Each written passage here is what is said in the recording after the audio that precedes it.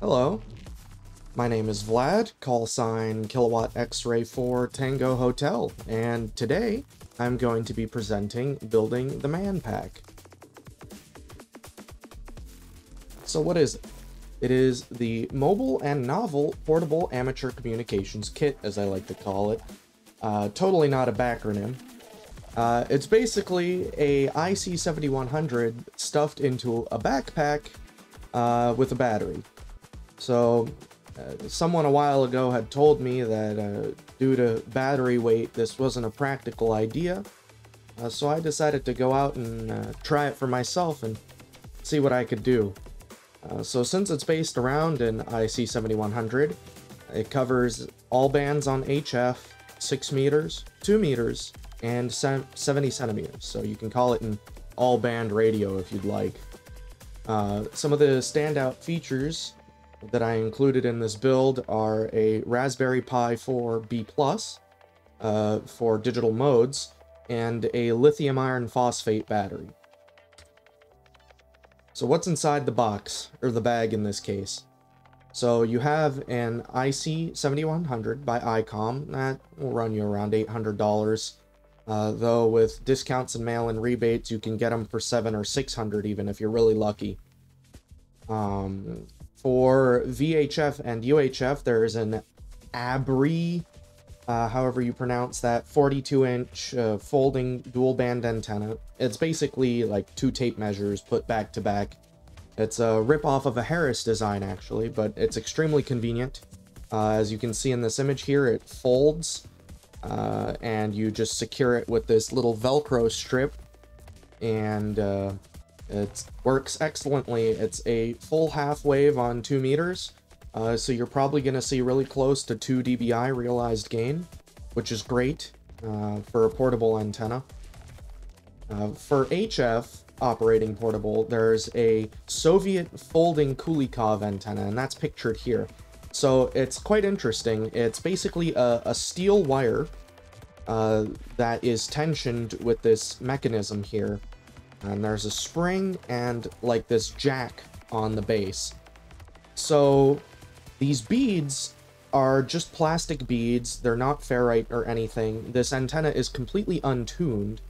Uh, and when you flip that mechanism open, it tensions that steel wire and the beads stack up against each other and the antenna uh, erects straight up. And it's got some flop and bend to it, but it'll stand straight uh, and it won't like fall over on its own or anything, but extremely handy because, you know, if it hits a branch or something, it'll kind of bend in half and then pop right back up.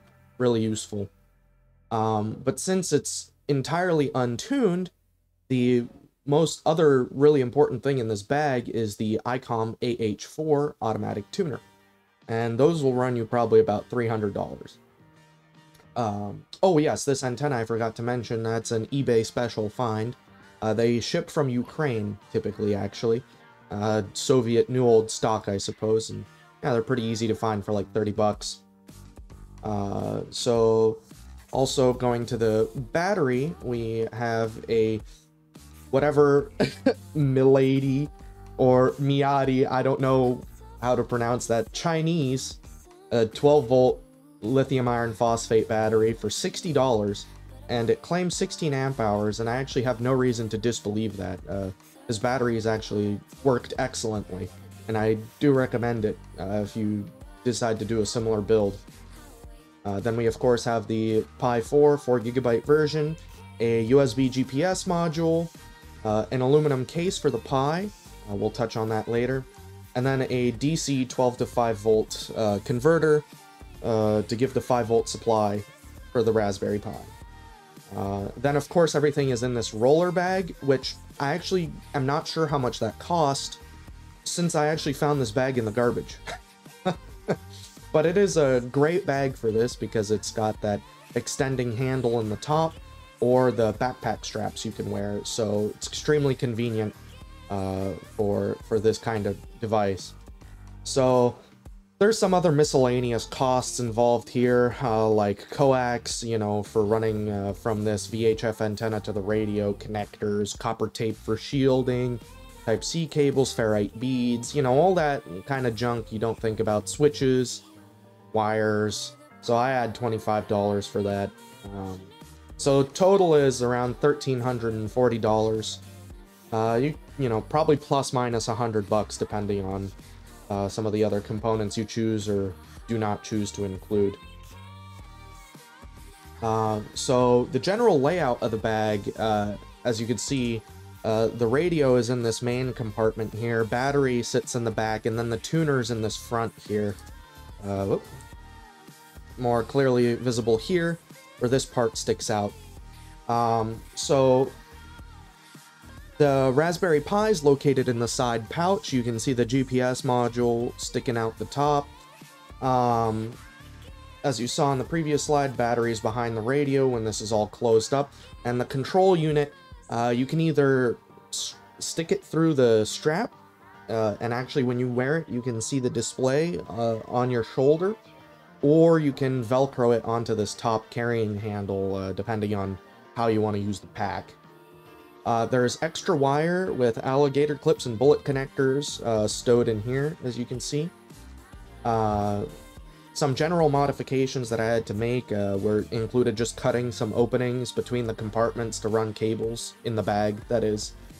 Um, everything has ferrite beads, everything. That's crucial. Uh, copper tape too. Um, so last important note was uh, you can see the top of the AH4 tuner, there's this SO239 connector. Uh, that's actually pretty important because the uh, AH4 tuner does not come with a connector. It is supposed to be a uh, a balanced feed. If you're familiar with antenna design, it is supposed to be the feed port itself. The tuner is supposed to be located at the feed gap of your antenna. So this is problematic if you have any kind of feed lines, uh, because it's just not designed to do that. Um, so in this case, this connector is purely for mechanical support. Only the center pin is driven. The the outside of the connector is left floating. Um, and otherwise, uh, it, it is not a proper SO239 connector. It's there only for the convenience of the fact that I put a PL259 on the folding antenna as well, uh, just to give myself an easy way of connecting and disconnecting that. Because if you saw from this image, this actually comes with a metal jack um, that is supposed to connect into whatever Soviet radio this was designed for. Um, so, you know, that's not very convenient for me, so I just stuck a LMR 600 a PL259, once again with only the center pin soldered to the metal here, uh, purely for mechanical convenience. Um, so, aside from that, uh, this pack can also be used in a mobile installation if you'd like. So here I have some images showing uh, what I have going on in my car. I have the control unit up on some Velcro on the dash. Um, I have a little display for the Raspberry Pi and a little mouse keyboard combo. Uh, you can just throw the bag in the trunk and uh, connect it up, you know, to your battery power, the Ethernet, HDMI, and uh, of course your antennas. So I have a, a very short length of 450 ohm ladder that just runs right over to the top of the trunk to the 102 inch whip that I use for HF. And then for VHF, I use an MFJ 1432, uh, supposedly collinear type antenna. Um, I'm not going to bother putting the phasing and whatnot here, but supposedly it's 5 to 7 dBi uh, from 2 meter to 70 centimeter. Uh, probably possible, not sure how accurate that is. Uh, so of course with the ladder line, uh, the negative side, uh, I had to give it a polarity here. Uh, the negative side of the line is connected to the vehicle chassis along with the tuner ground. So that, you can't see that here, but the bottom of the bag, there's a little uh, pigtail, here we go, this little ground lead uh, that goes to a connector I put on the actual chassis of the car uh, and the ground side of the ladder connects at that same point. Uh, and then the positive side of the ladder line uses a bullet connector to stick into the middle of that uh, SO239 on the tuner, and then that goes to the actual, you know, whip section on that antenna. And so this is actually using a just a triple magnet mount uh, stuck on the top of the trunk to mount the antenna, and the other, uh, the VHF antenna is on a, a lip mount. Uh, so some other important notes here are that I have an EMI filter installed at the car battery, a big LC network, and like 6,000 microfarads of shunt uh, capacitance across the power leads uh, at the radio in the trunk here. Um, noise is just a really big issue uh, from the spark plugs and the alternator. Uh, and all that stuff really helps. Having the filters really, really does help a lot. So, considerations for travel. The pack is about 23 pounds, as shown in this image here. Uh, whoopsies. Uh, so here you can see the, that Kulikov antenna fully extended. Um, so 23 pounds, not so bad, uh, depending on how physically fit you are, I suppose. I really don't think it's that bad, actually. Um, the only thing is that the wheels uh, from the roller bag aren't very comfortable on your back when hiking. They kind of dig into your, like, uh, like almost right into your kidneys. It's not very pleasant, uh, but if you can get over that, it's not terrible. Uh, as far as actually getting this thing through airports and whatnot, it's totally random. Uh, at Denver Airport, we had absolutely no stops and no issues. Uh, Fort Myers Airport in uh, Florida wanted me to remove the actual ICOM from the bag and have that separate. Uh, and then SeaTac uh, in Seattle uh, took the bag off the uh, security conveyor belt and proceeded to attempt to disassemble it rather humorously uh, with the guy, you know, trying to figure out, uh, you know, unplugging all my coax and ethernets and USB connections. And I started trying to walk him through it so he doesn't, you know, destroy everything. Uh, and rather humorously, he ended up just completely giving up, left it half disassembled, and just pushed the bag at me and said, just like, next time, take it out of the bag. oh, your mileage may vary, but every time uh, that I did take it through an airport, we did make it through.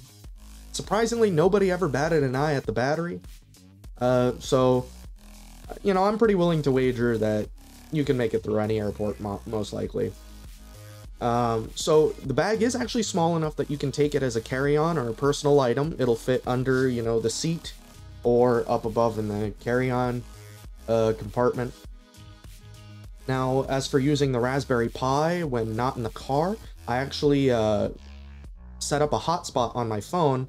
The Pi connects to that automatically, and then I can use a VNC remote desktop type connection to just control the Pi from my phone. Uh, or like when I'm in a vehicle, or if you have access to a TV and like keyboard and mouse or something, you can always just hook it up that way as well. Uh, so I mentioned earlier that GPS module. I actually use that to synchronize time uh, for FT8 because FT8, you know, cares about those 15 second intervals. Um, so it synchronizes using the standard uh, Linux NTP service. You just replace the network component with a GPS. It's pretty simple. There's tutorials out there on how to do that. Uh, works just fine. Uh, only thing I'll note is with these cheap USB uh, GPS dongles, um, getting them to synchronize can take a little while, and they need really like pretty open sky conditions. They'll sync inside, but definitely issues inside like metal buildings and whatnot. It just does not work as well as like GPS on your phone, for example. Um, so having said all that, at least the internet isn't required to have accurate time and location. It works just fine. So, uh, noise issues. This is something I kind of touched on with the ferrites and the copper tape uh, and the aluminum case I mentioned earlier, and it's a big problem. Uh, it's especially a problem in the car, but also just within the bag itself. Like the Raspberry Pi uh, seems to radiate a lot of noise down, I- am guessing, the shield of the power line. Uh, no amount of uh, reactance there seemed to save me from getting one or two S units on some bands. It's kind of specific, like it's one to two S units on two meters, under one S unit on two, uh, excuse me, one to two S units on 10 meters, under one, one S unit on two, and uh, just full bar S9 on 70 centimeters. I'm guessing some sort of USB or HDMI or some sort of communications happening on that frequency that just QRMs everything. So that's something to keep in mind. Maybe something that could be solved by having a totally decoupled power system for the uh, Pi, like a separate battery. Um, it would be quite annoying, in my opinion, uh, but something that might resolve that. But something to keep in mind there. Um, so I, I, have tried some isolation techniques, like I said, that isolation, there's an EMI filter in the bag as well. I had a optocoupler for the USB connection to the radio as well. Um, that all seemed to help a little bit, uh, but didn't, you know, entirely resolve the issue. Uh, like I said, for the mobile install, definitely recommend EMI filters, uh, you know, on the battery. Uh, they really do help a lot. Um, but the Raspberry Pi, uh, even though it's an aluminum case, I wrapped it entirely in copper tape. Did the same thing for as many cables as I could. Put ferrite beads on absolutely all the connections. Um, tried to kind of RF seal everything as much as possible. And for example, wrapping that Pi in the copper tape actually helped a lot. Uh, but still, the there's still some noise. It's hard to isolate exactly where it's coming from at this point. Um, so what are my results with this? Uh, there's lots of small kinks to work out. Uh, mainly the wiring harness inside you saw was kind of a mess. Uh, charging it is a little bit inconvenient. Um, but aside from that, it actually works quite well. Uh, the battery easily lasts for an, over an hour of use uh, with anywhere from 50 to 100 watts transmit. That's probably with a transmit duty cycle of anywhere between like 10 and 30% probably. Uh, you know, I don't try to yap that much on the air. I tend to listen more. Um, so, uh, of course, it will tune that 102 inch whip from 80 meters through 6 meters, no problem at all. I've made contacts on all those bands mobile. Uh, it'll tune that Kulikov antenna with this little uh, rat tail you see here uh, from 40 meters through 6 meters. Uh, of course, we're not talking about efficiency here. I have no idea what the actual radiation resistance is or, you know, what the actual system gain is. I just know that it'll tune it. Uh, but aside from that, uh, I've made plenty of contacts. Uh, on mobile, all the bands that it tunes, I've worked. Uh, voice and uh, digital. Uh, portable, like physically walking with the bag on my back, with that Kulikov. I've made some contacts on 10 meter upper sideband to the Carolinas, running about uh, 20 watts. Um, and next, we'll talk about my portable operations in Colorado, Oregon, and Washington. So, uh, I took this pack with me to Colorado Springs, and I worked several stations on 2 meters uh, and 6 meter, uh, both repeaters and simplex for 2 meter. Uh, I worked from Cave of the Winds, from the outside uh, to the downtown with 10 watts. Uh, that was rather fun. I also connected to a packet BBS and a WinLink node from my hotel room, as pictured here. Uh, for whatever reason, uh, having the antenna H-pole like this worked a little bit better. Um, so, uh, the, as you can see, I had that Kulikov set up and worked just fine on 6 meters.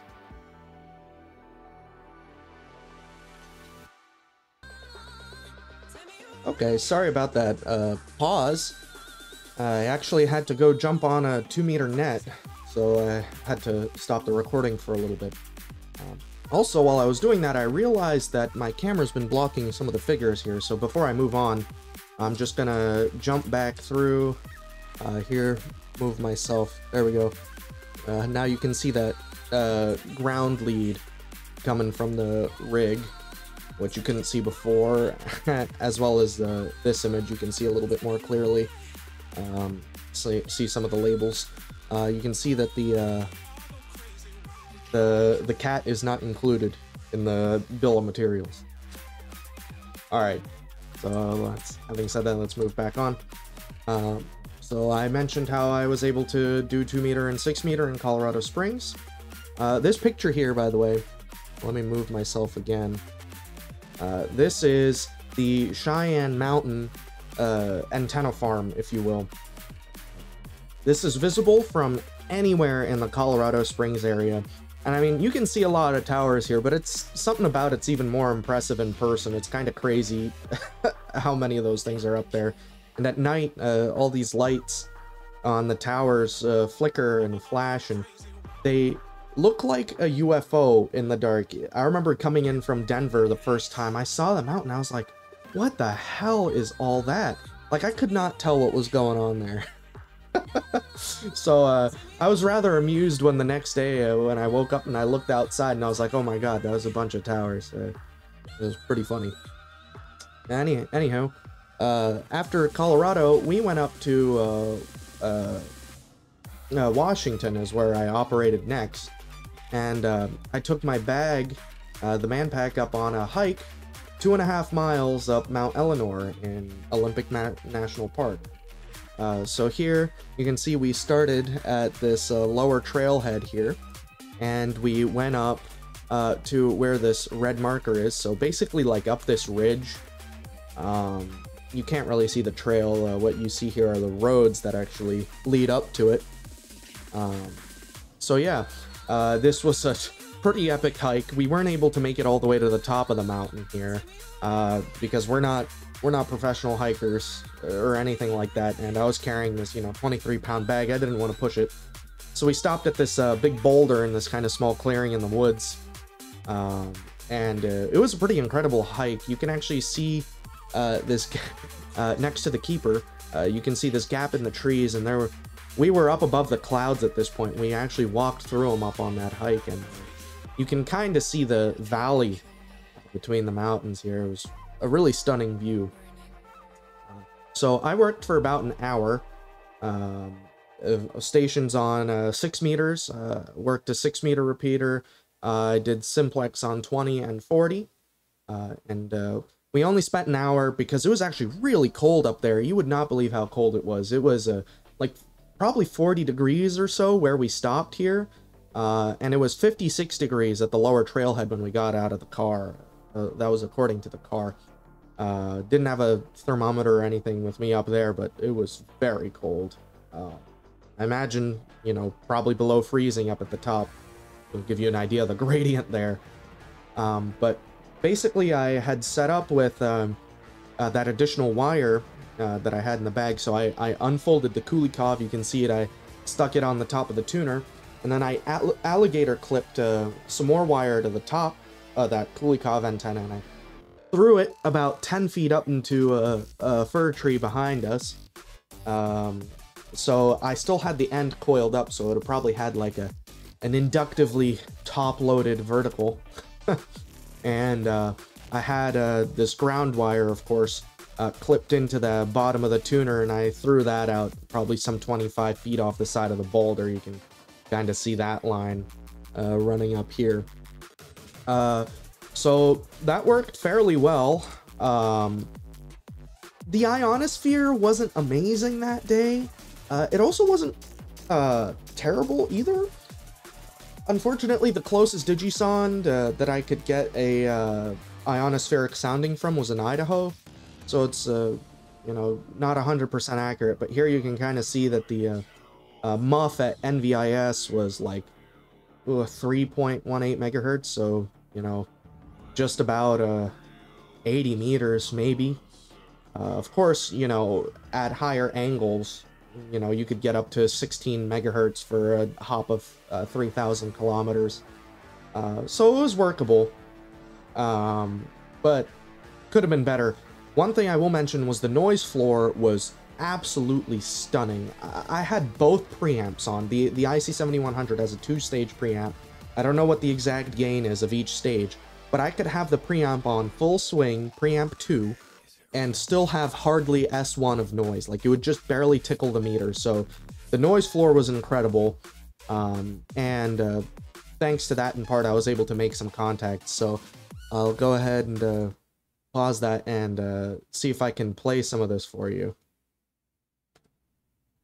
Exit and see if this works. Oh, okay.